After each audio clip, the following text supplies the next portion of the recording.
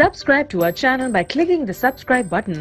Click the bell button and enjoy the latest uploads from our channel. ارشاد فرمایا کہ اے ایمان والو، اللہ کی حضور سارے توبہ کرو توبہ کرنے کا حکم اس آیت میں سب کو دیا گیا ہے توب اللہ جمیعہ اے ایمان والو، سب کے سب اللہ کی حضور توبہ کرو علامہ اسماعیل حقی نے یہاں بڑی خوبصورت بات لکھی۔ وہ فرماتے ہیں کہ اللہ تعالیٰ نے سب کو توبہ کا حکم دے کے گناہ گاروں کا پردہ رکھ لیا۔ اگر صرف گناہ گاروں کو کہا جاتا کہ تم توبہ کرو اور ان پر واجب کر دی جاتی اور نیکو کاروں پر توبہ کرنے کا حکم نامہ نہ رکھا گیا ہوتا تو پھر گناہ گار توبہ کرتے تو وہ نمایاں ہوتے۔ تو یہاں نیکوکاروں کو کہا گیا ہے کہ تم بھی توبہ کرو، بدکاروں کو کہا گیا ہے تم بھی توبہ کرو۔ نیک توبہ کریں گے تو درجے بلند ہوں گے گناہ گار توبہ کریں گے تو گناہ معاف ہوں گے۔ اور رسول اللہ صلی اللہ علیہ وسلم نے کمال کرم فرمایا، حضور خود ایک دن میں ستر مرتبہ سے زیادہ استغفار کرتے تھے۔ اور حضور نے اپنا عمل لوگوں کے لیے چھوڑا۔ تو اللہ تعالیٰ کی یہ کرم نوازی ہے، اس کی صفت ہے کہ وہ ستار ہے۔ وہ پردہ پوش ہے اور بندوں کو رسوا نہیں کرتا۔ تو اس طرح اجتماعی طور پہ توبہ کرنے کا اس نے ہمیں حکم دیا۔ توبہ ما قبل کے سارے گناہوں کو مٹا دیتی ہے۔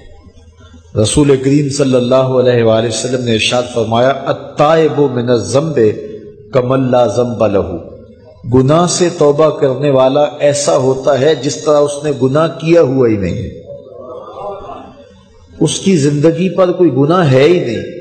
توبہ کرنے والا اس طرح گناہوں سے پاک ہو جاتا ہے جس طرح ابھی ماں کے پیٹ سے اس نے جنم لیا ہو۔ بلکہ فرمایا، ہم ان کے گناہوں کو بدل کے نیکیوں میں تبدیل کر دیتے۔ تو جب گناہ بدل کے نیکیوں میں تبدیل ہوئے تو جتنا بڑا گناہ گار تھا، اتنا بڑا نیکوکار ہو گیا۔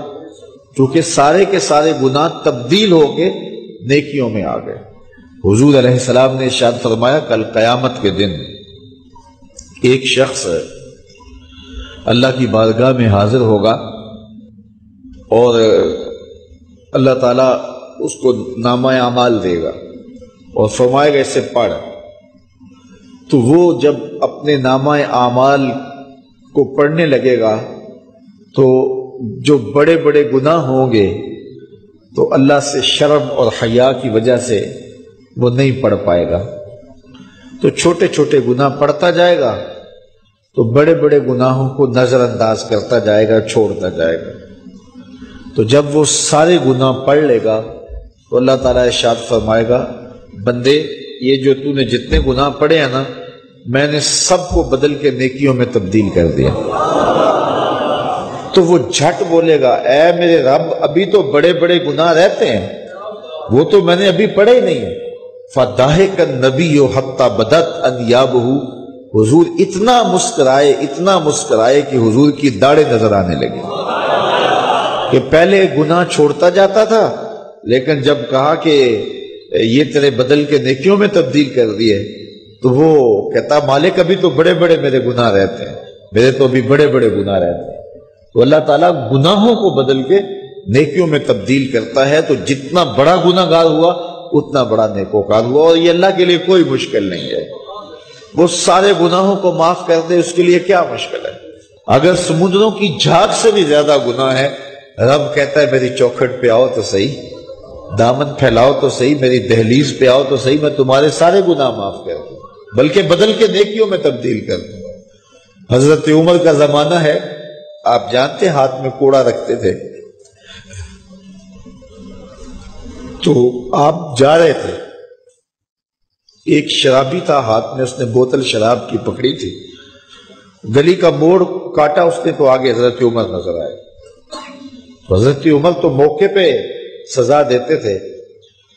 ہاتھ میں درا پکڑا ہے تو اس نے دل ہی دل میں کہا، مالک، عمر کے قہر سے بچا لے۔ پکی توبہ کرتا ہوں، آج کے بعد شراب نہیں پیوں گا۔ اور جلدی سے وہ شراب کی بوتل بغل میں دبا لی حضرت عمر بھی سر پہ پہنچ گئے اور جھڑک کے کہا کہ، یہ تیرے پاس کیا ہے؟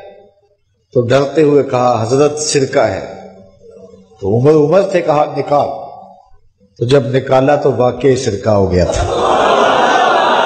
جو رب شراب کو سرکے میں بدلنے پہ قادر ہے، وہ رب گناہوں کو نیکیوں میں بدلنے پہ بھی قادر ہے۔ تو اس کے در پہ کوئی آئے تو صحیح، جھولی پھیلائے تو صحیح۔ ہم تو مائل بکرم ہیں، کوئی سائل ہی نہیں۔ راہ دکھلائیں کسے، راہ روے منزل ہی نہیں۔ کوئی اس کی دہلیز پہ تو آئے، اس کی چوکھٹ پہ تو آئے۔